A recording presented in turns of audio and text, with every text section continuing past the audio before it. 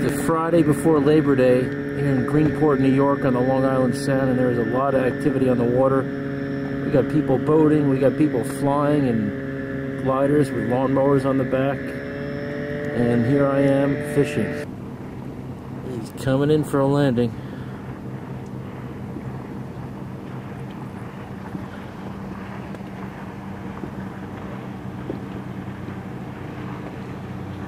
Very cool.